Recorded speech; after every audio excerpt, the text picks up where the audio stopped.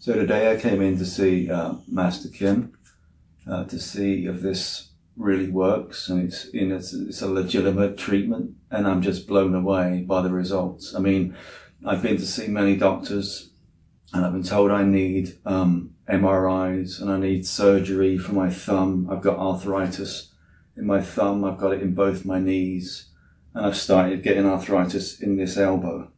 So I had nothing to lose everything to gain. So I've come along here today and within a couple of hours, I honestly feel like incredible. I came in with these on because without them, I felt like I had no support whatsoever and I was getting sharp pains.